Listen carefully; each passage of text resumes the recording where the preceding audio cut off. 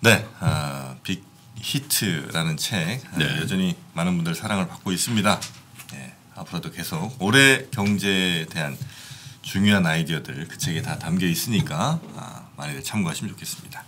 그나저나 그 10년 6억 아, 그 이슈가 계속 살아 있습니까? 네. 채팅장에 채팅장에 이거 가능하다 안 가능하다 굉장히 의견들이 많으시네요. 일단 맞벌이셨고 네. 어, 두 분이 대기업이라고 하면 보통 연봉이 한 그래도 초봉 한 5천쯤부터 시작하죠. 아 근데 이제 30대 후반이시면 네. 입사를 10년 정도 되면 음. 거의 억대 연봉도 있죠. 되죠. 네. 네. 그죠? 그죠, 소장님? 신입부터 10년까지 평균 내보면 대략 한 네. 7, 8천 정도는 되지. 그러니까 거기다 이제 성과급 같은 걸 요즘 많이 받고 하니까 아내분이랑 둘이 분이 같이 하시면 뭐 음. 가능할 것 같기는. 합니다. 또뭐 그냥 아내분이 또 작, 작다 남편분보다 작다라는 고정관념도 그 맞질 않죠. 음. 어떤 분은 아내분이 훨씬 더 많을 때도 있잖아요. 네. 가능은 할것 같습니다. 뭐. 음. 네, 부럽긴 합니다만. 자, 그러면 아, 이제 본격적으로 시작을 해보죠. 아, 이분은 어, 중국 소식 AI라고 불러도 전혀 손색이 없을 탁 질문하면 로봇처럼 음. 정답이 나오는 분입니다. 중국 소식 자판기야? 자판기 네. 미중 산업경제연구소 조용찬 소장님 모시겠습니다. 반갑습니다. 예, 반갑습니다. 네, 안녕하셨습니까? 네, 오랜만에 뵙습니다. 자판기는 자판기인데 아. 네. 인스턴트 커피가 나오진 않고 하, 원두 커피가 나오고 음, 운조 커피 같은 거. 네, 갑자기요. 저 돈이 없습니다. 퀄리티가 좋다는 얘기예요. 자 일단 뭐 우한 폐렴 관련해서 어, 우한 폐렴의 과거 뭐 비슷한 사례를 찾아보면 사스나 메르스 같은 게 있을 텐데 그보다는 확실히 위험성은 좀 덜한 거로 알려진 거죠 우한 폐렴이. 네, 현재까지는 덜하다고 이야기되는데요. 네. 문제는 현재 슈퍼 확장기에 들어가 있습니다. 수퍼 확장기. 예, 그러니까 보통 그 질병이 전염될 때 보면은 네. 어, 처음에는 동물에서 인간으로 감염되는 게 1단계라 그러고요. 네. 또 인간 대 인간의 감염이 시작되는 걸 2단계, 단계. 그리고 의료진까지 감염되는 거는 3단계고요.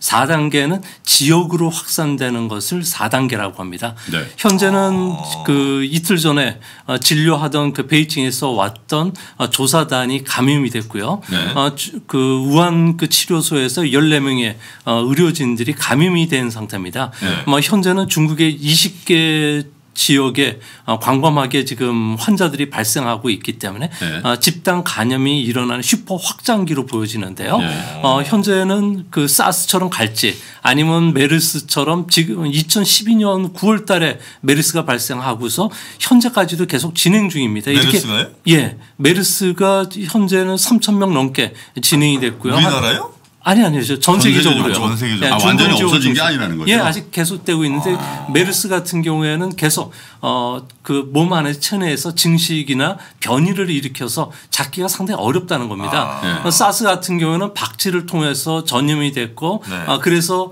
어 최종적으로 뭐 잡는 데는 별로 문제가 없었는데 음. 이번 거는 코로나 바이러스 중에 여섯 종류 중에 메르스도 들어가고 사스도 들어가지만 이번 거는 유전자 정보가 전혀 없다는 겁니다. 네. 단백질이 몇 개인지 보통 20개 정도가 정상인데 사스나 메르스 같은 경우는 6개, 5개로 상당히 변이를 일으켰거든요. 예. 이번에도 체내에 들어가서 변이를 일으켰을 경우에는 걷잡을 수 없이 전염력이 높아진다든지 네. 속도가 더 늘어나 가지고 확산이 더 빨라질 수가 있기 때문에 음. 지금 확장기 들어가 있는 상황이 중요한데 네. 문제는 중국 정부가 어, 슈퍼 복균자들을 초기에 놓쳤다는 겁니다. 음. 어, 중국 친구들하고 여기 방송 나오기 전에 저도 좀 돈을 들여서 국제 전화를 통해서 우한에 사는 친구하고 이야기를 아 우한 우한에 있는 분하고 직접 통화를 하셨어요? 예, 저도 우한에 간게 돈을 좀2000 아니 들여서. 1999년에 처음 갔는데요. 아, 다행이다. 우한 지역 같은 경우에는 어떤 지역인 거니 중국의 교통의 요지입니다. 그래요. 예, 어, 그 하노이 그 김정은 그리고 트럼프 회담을 위해서 4,500km의 철도를 타고서 아, 북한이 내려갔는데요. 네. 우한 지역을 통과해서 갈 정도로 교통의 아, 요지입니다. 그래요? 우한이라는 곳이 어떤 곳인 거 아니? 초나라의 수도였죠. 항우. 예. 예, 그것뿐만 아니라 조조의 위나라의 그 본부지가 바로 우한이었습니다. 네. 아, 우한 같은 경우에는 인구가 1,100만 그리고 우한을 둘러싼 어, 후베이성 같은 경우에는 1억이 넘는 중국에서 가장 많은 인구를 갖고 있는데요. 중부 지역의 핵심일 뿐만 아니라 교통 1대1로와 관련된 교통이 요지고요. 이뿐만 아니라 그 중부 지역 5억 명 인구와 관련해서도 네. 이 지역이 금융, 어, 유통, 교통뿐만 아니라 금속, 자동차, 어, 철강 이쪽 부분의 가장 핵심 지역입니다. 산업적으로도 예. 아, 우한이 굉장히 중요한 예. 그래서 이 우한 지역의 공무원들 같은 경우에는 네. 시진핑 정부가 올해 연말에 어, 공무원들한테 지시가 내려온 내용 중에 하나가 작년 연말에 아니 아니 그래서 작년 연말에, 작년 연말에. 내려온 지시 중에 하나가 어, 호랑이도 잡고 파리도 잡지만 앞으로는 모기도 잡겠다는 거죠. 지방에 있는 말단 관료까지 잡겠다 그러니까 네. 갑작스럽게 우한의 그 어, 화남 해산물 도매 시장 같은 경우는 어, 크, 어, 뭐 크기가 만 오천 평 정도 되고요. 뭐- 뭐가요? 어, 시장 하나가 됐다니까 하남 예, 하남 하남 시장에서 이제 그 그 해산물 야생, 동물 야생, 시장이죠. 야생 야생 동물로부터 전이됐을 것이다 예. 이렇게 여기에 해상 동물 시장이 어 라고 해가지고 그저 상선만 파는 게 아니라 네. 어, 최근 들어와서 뭐 토끼라든지 닭이라든지 야생 이런. 것도 봤고요. 아. 또 올해는 쥐해 아닙니까? 네. 중국에서 돈 있는 사람들 같은 경우는 자식들을 위해서 옥으로 만든 쥐 모양의 이런 것들을 선물을 하고요. 또 중산층 같은 경우는 어, 금으로 된 걸 주는데 보통 만 유엔에서 한 몇천 유, 천 유엔까지 됩니다. 그러니까 가난한 농민공들 같은 경우에는 어, 그 애완용 쥐를 여기서 팔 았는데 한 마리당 100유엔에 팔았다 그러더라고요. 그러니까 우한 친구가 여기서 전염이 되는데 보통 이걸 키울 때 위생적으로 키우는 게 아니라 어, 그 뭐라 그러나 좀 사육 환경이 안 좋은 상태에서 그러겠죠. 키워가지고 예. 이게 확산이 됐던 가장 근본적인 쥐를 원인이었고 키워서 예, 그 올해 쥐해니까 이것을 선물하기 위해서 음. 각각 하나씩 이렇게 가져가는 게 요즘 우한의 붐이었다고 합니다. 아, 쥐를 키워요. 예.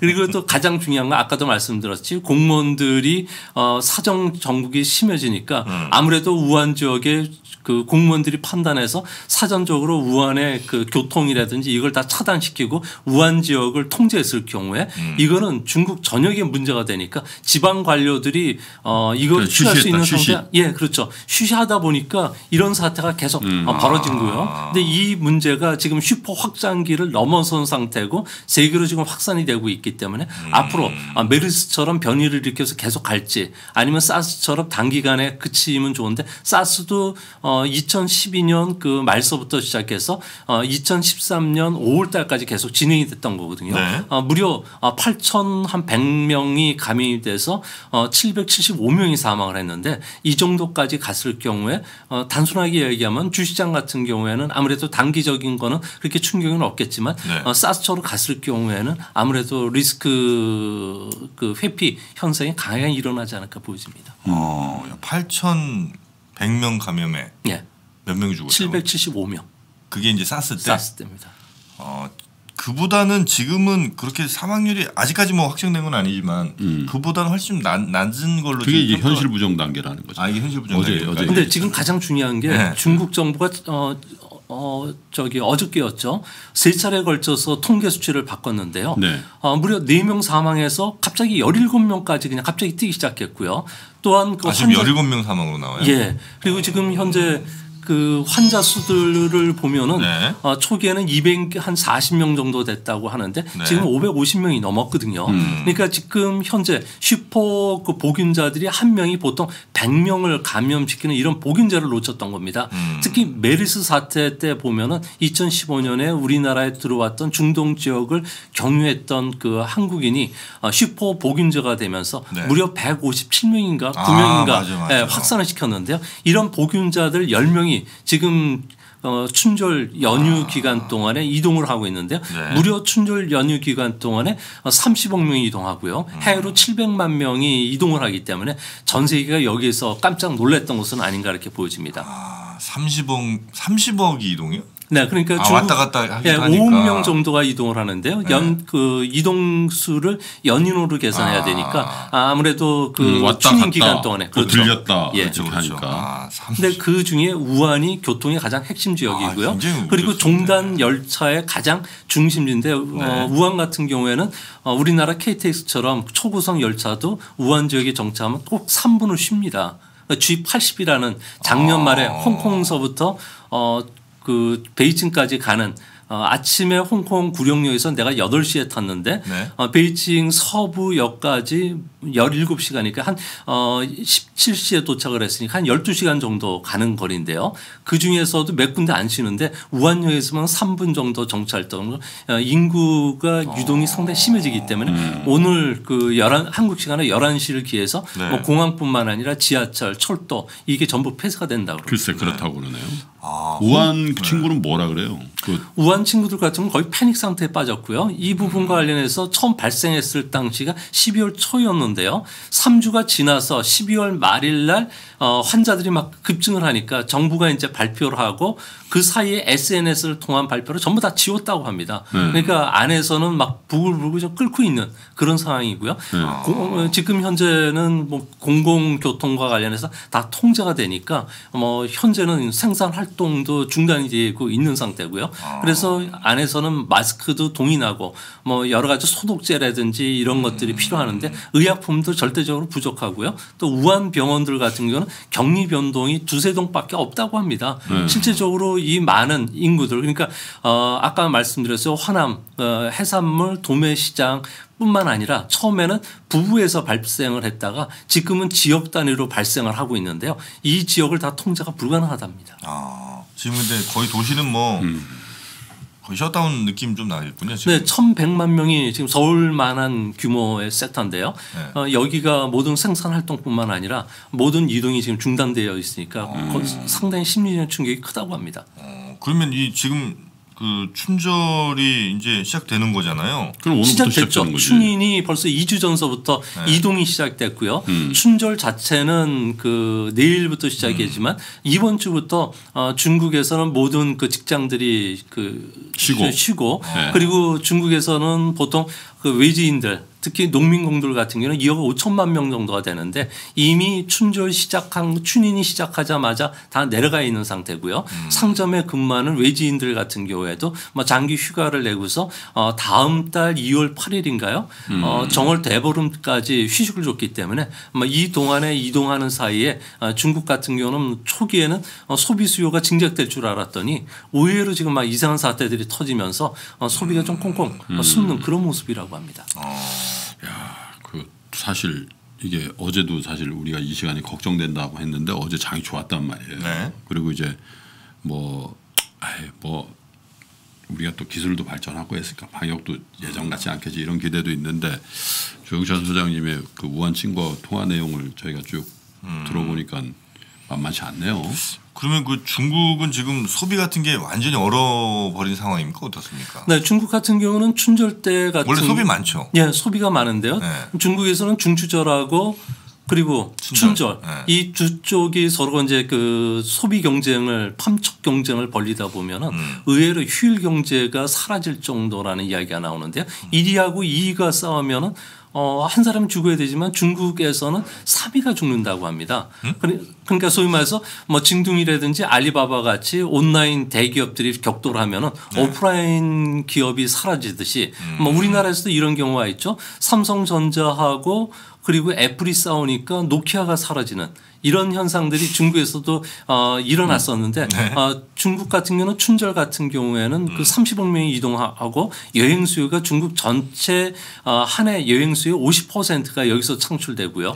그러다 보니까 국내 가- 여행 에 예, 국내. 그러니까 전체적인 그 소비도 엄청납니다. 이번 같은 경우는 1조 1천억 유엔 우리나라 돈으로서 180조 원 정도의 경제적 효과가 아, 창출될 거로 소매 판매나 음식점 같은 경우는 늘어날 걸 봤는데 실질적으로 이제 대중 그 대면 접촉을 피하다 보니까 음식점뿐만 아니라 이런 쪽은 줄고 있고요. 의외로 중국 친구들은 즉석 식품들이죠. 한국 그 만두 같은 경우도 많이 팔리고 있다는 이야기도 또 해- 해주고 있고요. 냉동 식품이 의외로 많이 팔리 고 있고. 어, 그러다 보니까 중국에서는 아 이제 자동차도 교체해야 되지 않나? 그래서 그 동안엔 자동차 수요가 없었는데 어, 공중 그 교통을 이용을 하지 못하다 보니까 음. 자동차를 쓰게 되고 또 집에만 있다 보니까 5G가 지금 중국 같은 경우에는 막 보급이 되기 시작했네요. 지금 현재는 25만 개 기지국이 깔리면서 주요 1선, 2선 도시, 1선 도시라는 것은 상하이, 베이징, 선정, 광, 광저우를 이야기하는 거고 네. 2선 도시들 같은 경우는 우한처럼 어, 각성 31개 그렇죠. 성의 성 도죠 어, 수도 이쪽을 말하는데 이쪽은 지금 그 5G 통신이 깔렸기 때문에 네. 이거와 관련해서 어, 5G 핸드폰이나 이걸 가지고 그냥 집에서 그냥 혼자 어, 게임하고. 지, 지내는 네, 게임하고 그게 지금 붐이라고. 그럽니다. 네. 아 근데 우리가 AI라고 괜히 말씀드렸나 봐. 왜요? 한번 질문하면 쫙 나오시니까. 지금 방언 터졌다고 지금 어떻게 이렇게 그 모든 데이터를 한 번도 보지도 않고 이렇게 말씀을 줄줄줄 하시냐고 신기하다고 숨 좀 쉬시라고 난립니다. 그러니까. 네. 네. 하여튼 뭐 우리 근데 수장님. 그 네. 뭐 어쨌든 무한 우한의 그, 그 폐렴 얘기는 요 정도 하죠. 왜냐면 이게 또그 걱정은 되나 네네. 또 이게 어떻게 진행될지에 대해서 예측 불가인데 너무 또 거기에 대해서 우리가 심각하게 또 음. 네네네. 너무, 너무 가볍게 할 수도 없는 사안인 것 같으니까 음. 요 정도 소식을 전해드리는 걸로 하고 네. 중국 경제 얘기를 좀 여쭤봐야 될 것 같아요. 중국 경제 전문가시니까. 네. 일단 미중 합의가 있었잖아요. 예. 미중 합의 이후에 중국의 어떤 경제 정책의 변화 또 음. 혹은 경제 상황 어쨌든 6%대를 지켰어요. 한국은 2%대 지키고 음. 중국은 6.1% 6, 6% 지, 지키는 결과가 나왔는데 소장님 보시기는 어떻습니까? 올해 중국 정부는 그러면 더 적극적인 그러니까 트럼프가 또 재선되면 또 괴롭힐지도 모르니까 어쨌든 내부적으로 총력을 다해서 경제를 좀 살려놔야 되겠다 이런 생각들을 할 거다라는 얘기들을 많이 한단 말이에요. 음. 어떻게 잡혀요? 어, 그거는 저기 자본주의 국가에서 보는 경제 시각이고. 시각이고요. 예. 중국에서는 이번에 그 무역 협상과 관련해서 어, 독소 조항이 있죠. 그러니까 예. 악마는 디테일에 숨어 있다는 이야기처럼 예. 어, 만약에 중국이 무역 합의를 위반했을 경우에는 관세 카드를 다시 꺼낼 수 있게끔 흔들 수 있게끔 이번에 독소 조항이 넣었거든요. 근데 이 부분을 중국 정부가 전혀 발표를 하지 않고 있습니다. 어, 그러다 보니까 이거와 관련된 반대파들의 의견이 있을까봐 어, 시진핑 국가주석은 무역 합의 다음에 한 일이 몽고하니 어, 즉각 그 중국에서 반부패 운동 다시 재개할 아까도 이야기했지 모기까지 잡으라는 거죠. 그러면서 사정 인사 태풍이 지금 불고 있거든요. 네. 어, 그런 거는 무슨 이야기인 거냐면 올해 미중 무역 합의 2단계까지 나가기 위해서는 어, 중국 정부 입장에서는 그동안에 어, 보조금을 주는 정책이라든지 이런 것을 후퇴하고 그다음에 작년 같은 경우에는 2주 위엔의 감세 정책을 통해서 어, 기업들의 그 투자를 자극시키고 개인들의 소비를 자극시켰습니다. 어, 중국 같은 경우는 인구가 감소하고 있죠. 여기에 지금 중중국 함정에 빠져들면서 자동차, 철강 그리고 뭐 이런 것들이 막 그 도산들이 일어나고 있는 구조조정. 예, 구조. 어, 보조금을 주는 정책이죠. 지금 현재 알리바바랜드 징둥이 싸우면서 오프라인 매장이 사라졌다고 말씀드렸는데요. 중국에 보면은 각 그 도시마다 아, 대형 그 유통 백화점 뭐 상가 이런 것들은 전부 국영 기업입니다. 국영 기업이다 보니까 실질적으로 장사가 안 되고요. 손님보다 종업원이 많을 정도가 되고 있습니다. 우리나라랑 똑같아요. 근데 문제는 아, 이런 상황 속에서 이런 종업원들을 해고시키면 사회 문제가 되다 보니까 그러겠죠. 계속 보조금을 줘왔는데 그게 예. 이제 이주위원회 정책 지금 중국 정부가 쓸 수 있는 돈이 없어지기 시작했다는 겁니다. 예. 그러다 보니까 부채 비율은 현재 공식적으로 270%고 음. 그러다 보니까 그 중국 기업들 국영 기업들 같은 경우에는 장부의 거래 어 그러면서 자기 조달 형태죠. 그러니까 어 그 그림자 금융을 통해서 조달해 와서 그거 가지고 융통했는데 네. 중국 정부가 올해부터는 그걸 금지시켰어요. 또 인프라 투자 관련해서도 음. 실제 수익이 나는 거를 기준으로 해서 대출을 받게끔 엄격하게 했기 때문에 네. 올해 어, 중국이 이야기했던 6% 성장은 상당히 힘들다는 생각이 드는데 음. 어, 그러면 중국 정부가 이야기했던 2020년까지 2010년 대비 소득 배진 운동 소강 사회를 달성해야 되는 사명이 있다고 하지만 중국 정부가 이거와 관련해서 꼼수를 또 하나 피웠다는 거죠. 뭔가니 지금까지 5년간 GDP 성장과 관련해서는 어 기초 그 베이스가 되는 부분들과 관련해서는 네. 이거를 그 GDP 계정을 바꿔 가지고 오히려 그때 0.1% 성장을 더 올렸다는 겁니다. 5년간. 그러니까 0.5%만큼 더 올렸다는 건 산술적으로 보면 올해 6%가 안 되고 5.5%만 성장을 하거나 5%좀 초반만 성장하더라도 정부 목표는 달성한다는 거죠. 예. 그렇게 됐으면 13.5개년 계획과 관련해서 목표가 달성되니까 이제 시진핑 국가주석은 앞으로 좀 더 강한 사정 정국으로 밀고 나가겠다는 겁니다. 네. 그래서 중국 안에서는 현재 분위기가 아주 쎄하다고 하고 있고요. 이거와 관련해서는 중국 정부가 경제 정책보다는 아, 자신의 그, 그 정치 철학을 실현하는 쪽으로 나가는 쪽으로 보여지기 때문에 아. 올해 중국 경제는 우리가 생각했던 것보다도 호락호락하지 않다. 그리고 대중국과 네. 관련된 수출이 좀 늘어나고 무역 협상 이후에 좀 더 좋아질 거로 봤는데 소비서부터 시작해 가지고 어, 초부터 지금 현재 어, 이런 그 음. 폐렴까지. 겹쳐 가지고 좋지 않은데 가장 큰 문제는 중국의 부동산 시장이에요. 부동산 시장은 중국 GDP의 25%를 차지하고요. 중국의 45개 산업에 영향을 미치는데 음. 현재 미 그 공실률도 한 20% 넘게 지금 올라가 있는? 상태입니다. 예. 그것뿐만 아니라 어 아까도 말씀드렸듯이 온라인 그와 관련해서 부응하니까 오프라인 같은 경우는 없어지고 공 그 오피스와 관련된 공실률도 떨어지고요. 음. 그렇겠죠. 그리고 또 실업 과 관련해서는 어 현재 중국에서는 외자 기업의 엑소더스뿐만 아니라 수출 기업의 엑소더스 현상들이 상당히 많이 일어납니다. 음. 글로벌 그 supply chain망이 공급망 자체가 이제 미국이 원했던 대로 미국으로 가거나 아니면 아시안 쪽으로 인도 쪽으로 가기 때문에 중국에서는 어 가장 우려됐던 부분 중에 하나가 스마트폰과 PC 노트북 같은 경우에는 외자 기업의 그 대리라든지 휘로패커드라든지 삼성이라든지 뭐, 뭐 히다치라는 이런 애들이 그 노트북이나 그 애플도 그렇고요.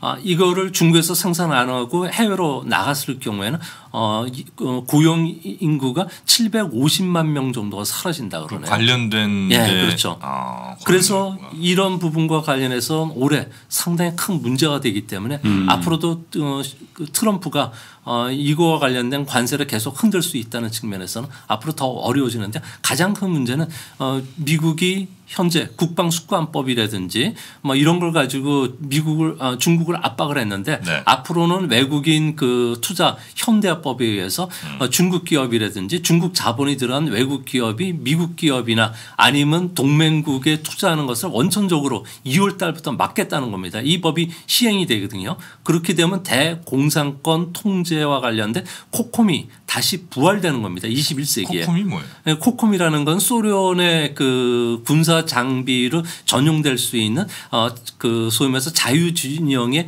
기술을 수출을 막는 이런 소련의 옛날 그렇죠. 구소련의. 예, 그리고 50년대에서부터 시행이 됐었는데 네. 80년대 이후에 사문화됐는데요. 이것을 다시 21세기 버전으로 어, 그 미국이 되살리겠다는 거죠. 근데 이거와 관련해서도 앞으로 강하게 지금 압박할 가능성이 크다는 점에서 중국이 지금 현재 지향해야 될 부분들이 앞으로 상당히 많지 않을까 음, 보이고요. 낙관만 할 수 없다. 지금 예. 전체적인 분위기는 뭐 위안화도 강세고 또 뭐 트럼프하고 일단 합의했으니까 뭐 우리 수출도 늘어날 것 같고. 또뭐 이렇게 이렇게 해서 아 우리 그렇지는 않을 것이다.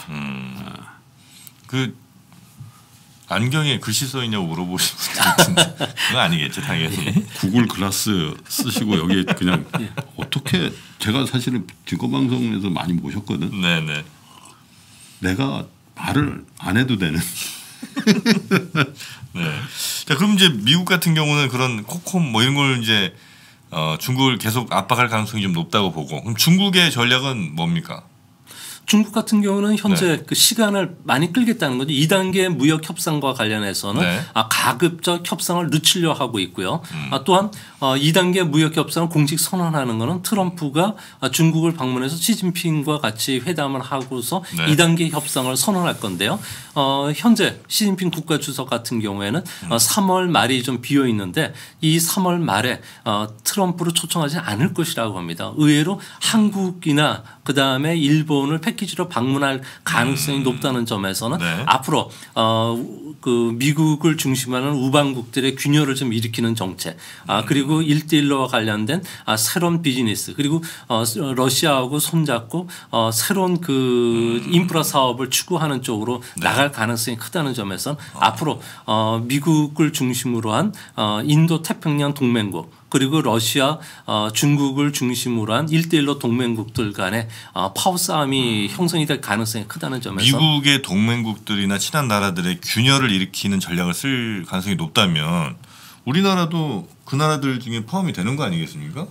그렇죠. 근데 우리나라 같은 경우는 네. 현재 여기와 관련해서는 그 시진핑 국가주석 같은 경우는 한중일 정상을 지난 그 청두 회담에서 할 때 새로운 단계의 외교를 선언을 했거든요. 아, 새로운 단계의 예, 외교. 새로운 단계라는 것은 네. 일대일로를 통해서 아, 글로벌 그 경제를 좀 묶는 방법 네. 그리고 중국이 주도하는 어, 그 예절 외교를 강화시키는 방법이죠. 근데 중국이 주도하는 외교 정책은 강국 외교라는 겁니다. 예전식으로 돌아가서 어, 중국이 호혜적으로 우호적으로 주변국에 대할 테니까 다른 나라들도 어, 중국에 똑같이 하라는 거죠. 그 이야기는 앞으로 동북 공정과 관련해서 한국이 인정을 해달라. 아, 그리고 어, 그 강국 외교를 인정 어, 너희들이 받아들이고 미국과의 동맹 관계를 정리하고 어, 중국과의 동맹 관계를 구축하자는 이야기인데 문제는 동맹이라는 게 이익이 있고 그리고 이웃 국가이기 때문에 체결하는 건 아닙니다.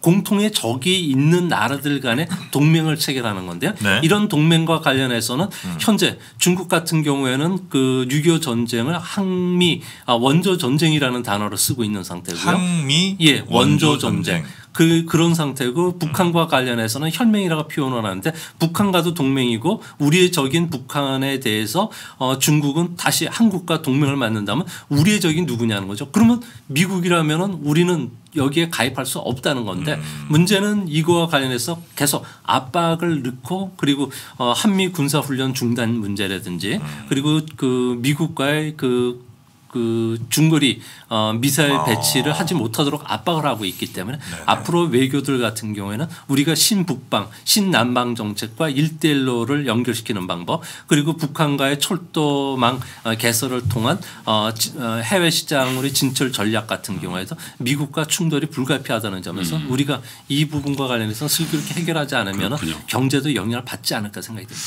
근데 일단은 좀 AI 좀 중단해야 될 것 같아요. 시간이 많이 아. 그러네요. 벌써. 아니 이게 이제 정 프로가 지금 빠져가지고 예, 죄송합니다. 아, 시간이 벌써 이렇게 됐네요. 다시 모시죠. 다시. 네, 우리 저 주- 중국의 중국의 올해 중국에 대해서 전혀 다른 view를 갖고 계시니까 네. 예? 우리 저 조이황 선생님은 따로 모시자고. 아니 지금 소지섭 아니요 이황. 선생님 지금 천 원짜리 그대로 복사. 아, 저는 소지섭으로 가겠습니다. 네. 소지섭 선생님, 아, 우리 조영찬 소장님 오늘 아, 막힘없는 음, 네. 설명 대단히 감사하고요. 조만간 다시 한번 모시도록 하겠습니다. 고맙습니다. 네, 감사합니다. 감사합니다. 네.